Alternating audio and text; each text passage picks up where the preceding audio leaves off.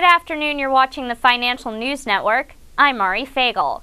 Customers are fed up with doing business with big banks and are finding it difficult to break ties with them.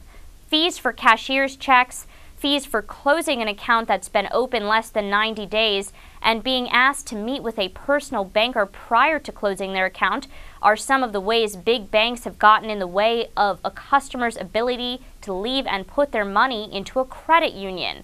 Despite these snafus between September 29th and the first week of November, 650,000 customers joined credit unions.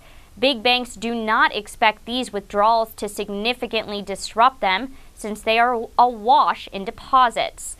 It also remains to be seen if the customer service given at credit unions will be better since they offer less locations and rarely offer extended hours. For more financial news updates, stay tuned. I'm Mari Fagel.